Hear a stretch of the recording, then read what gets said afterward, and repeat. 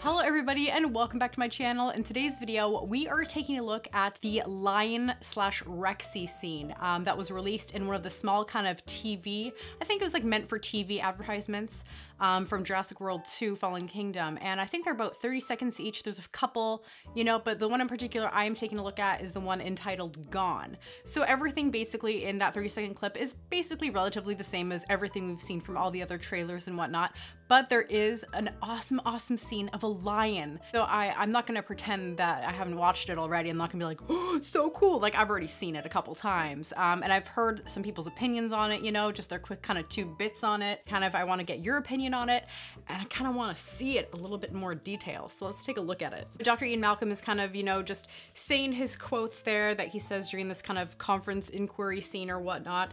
And then we get this awesome scene of the lion and the T-Rex, Rexy, yet like roaring at the same time. So let's take a look at that quickly. Welcome to Jurassic World. Yeah, so it looks like they're both roaring at the same time. First, I kind of had a little inclining that like, oh, maybe it's actually Rexy and she's part of the exhibit.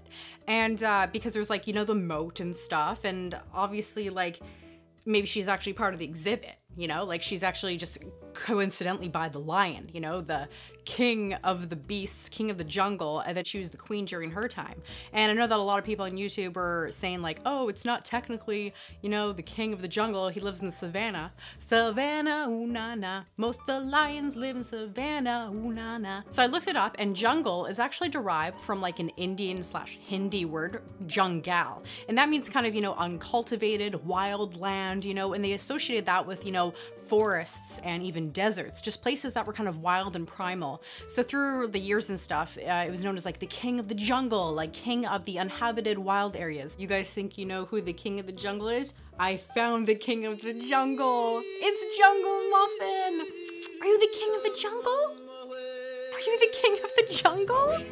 Okay, you can go.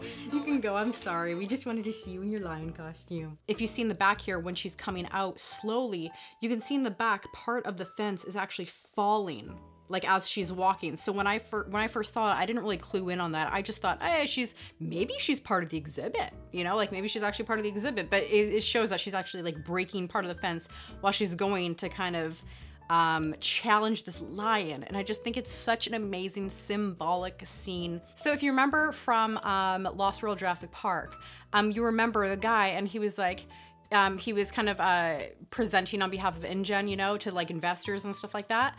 And he was like um, trying to market all the animals that they were taking, you know, from Isla Sorna and uh, trying to bring them to the mainland. And they were, and he was like, you don't bring people halfway around the world to visit the zoo. Bring the zoo to them. San Diego is the perfect set. So I looked it up and actually um, the San Diego Zoo does have this Skyfari feature. So if you see here in the back, when they're roaring, you can actually see one of these kind of trolleys, these like sky trolleys or sky trams, you know, on this kind of um, course up there, and it's kind of touring around the zoo. So I have a feeling that this is possibly San Diego. I mean, why would the T-Rex, why would it coincidentally be like at this zoo?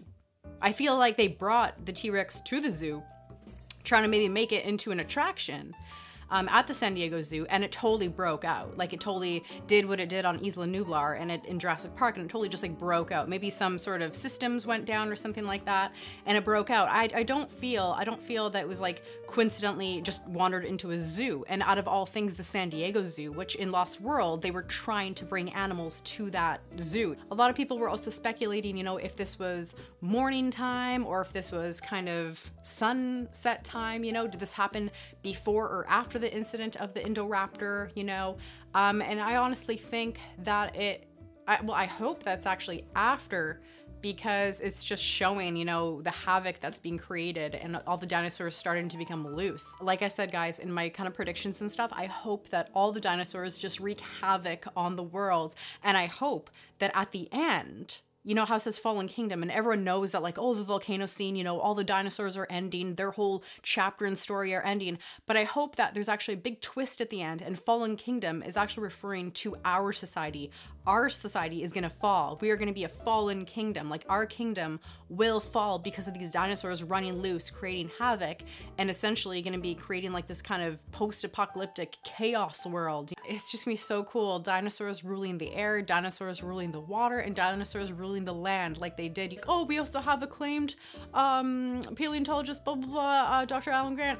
Uh, Alan, what do you think about this? And he'll be like, blah, blah, blah, blah, blah, blah, blah, blah, blah, blah. Life found a way. And it's like, yes, yes. And then bum bum bum. And then it's over. And I think I think that would be a really good ending. So I'm just super excited and I really can't wait. I can't believe it's in like another month, guys. I mean, it's in June. Like, holy shoot. So in the comments down below, let me know how you guys think Rexy and the lion got to be face to face. Do you think that she was brought in there as an exhibit? Do you think that she just, you know, stumbled across, you know, this zoo and happened to just go kind of match this lion because she kind of maybe smelt him from far away? That it was like kind of, you know, the head honcho there that she had to beat up to kind of be the queen of this neighborhood? And also, do you think this is San Diego? Do you think that it is true, like from Lost World, the second Jurassic Park? Do you think that uh, this is actually all happening in San Diego Zoo? You know, as I pointed out, the kind of Skyfari trams in the back and stuff. Do you think this is San Diego?